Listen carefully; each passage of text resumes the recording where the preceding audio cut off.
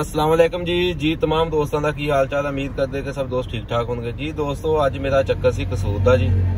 ਉਹ ਤੋਂ ਕੋਈ ਸਮਾਨ ਸਮੂਹ ਲੈਣਾ ਸੀਗਾ ਜੀ ਤੇ ਉਤੋਂ ਵਾਪਸੀ ਦੇ ਉੱਤੇ ਜੀ ਮੈਂ ਵਾਈਟਓ ਦੇ ਸ਼ੋਰੂਮ ਤੇ ਗਿਆ ਸੀ ਖੁਦ ਜੀ ਔਰ ਮਾਸ਼ਾਅੱਲਾ ਬੜੀ ਅੱਛੀ ਗੱਲ ਹੈ ਜੀ ਕਿ ਵਾਈਟਓ ਦੀ ਟੀਮ ਜਿਹੜੀ ਉਹ 6 ਸਿਲੰਡਰ ਟਰੈਕਟਰ ਲੈ ਕੇ ਆਈ ਹੈ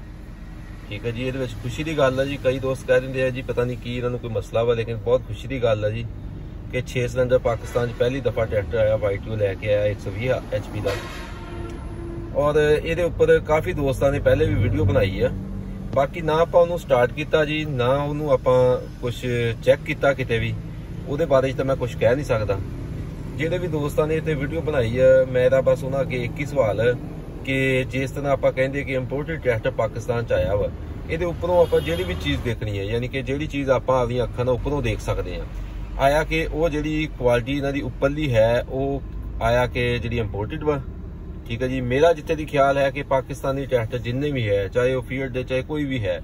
ਇਹਦੇ ਉੱਪਰੋਂ ਜਿਹੜਾ ਹੈ ਪੇਂਟ ਕੁਆਲਿਟੀ ਹੋ ਗਿਆ, ਠੀਕ ਹੈ ਜੀ। ਇਹਦੇ ਮੋਡੀਗਾਰਡ ਹੋ ਗਏ, ਜਨਾਬ, ਹੋਰ ਕਈ ਚੀਜ਼ਾਂ ਜਿਹੜੀਆਂ ਹੈਗੀਆਂ, ਉਹਨਾਂ ਨੂੰ ਤੁਸੀਂ ਖੁਦ ਦੇਖ ਸਕਦੇ ਆ ਕਿ ਇਹਨੂੰ ਇਹ ਕਿਸ ਤਰ੍ਹਾਂ ਉਹਨਾਂ ਨੇ ਤਿਆਰ ਕੀਤਾ। ਇਹ ਤੇ ਇਸ ਤਰ੍ਹਾਂ ਵਾ ਜਿਸ ਤਰ੍ਹਾਂ ਉਹਨਾਂ ਨੇ ਮਗਰੋਂ ਲਾਤਾ ਹੁੰਦਾ ਜੀ। ਠੀਕ ਹੈ ਜੀ। ਬਾਕੀ ਇਹਦੀ ਪ੍ਰਾਈਸ ਜਿਹੜੀ ਹੈਗੀ ਆ, ਉਹ ਬਹੁਤ ਜ਼ਿਆਦਾ ਵਾ, ਉਹ ਵੀ ਦੋਸਤਾਂ ਨੂੰ, ਉਹਨਾਂ ਨੂੰ ਚਾਹੀਦਾ ਵਾਈਟੋ ਦੀ ਟੀਮ ਨੂੰ ਕਿ ਇਹਦੀ ਪ੍ਰਾਈਸ ਥੋੜੀ ਜਿਹੀ ਲੋ ਕਰਨ।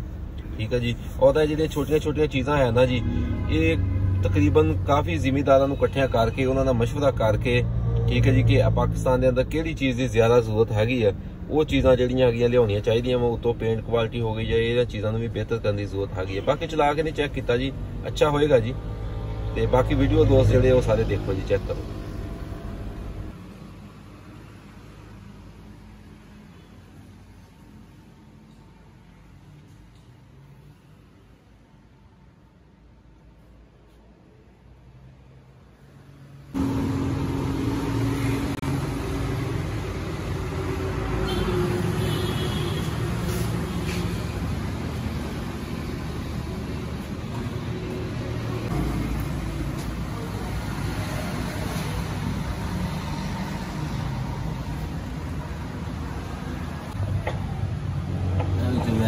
ਵੈਸੇ ਹੀ ਟੁੱਟਦੀ ਹੈ